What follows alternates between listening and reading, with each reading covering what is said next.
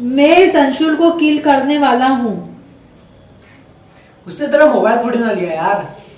नहीं लिया लेकिन उसकी वजह से मेरा मोबाइल मम्मी ने कन्फिस्टिकेट कर लिया। चल यार एक दो दिन में रिटर्न कर देगी। कभी कभी लगता है इन पेरेंट्स को कौन राइट्स देता है हमें कंट्रोल करने का। दूर रहो ना स्टे अवे कमॉन यार इतना डीप में मत जा।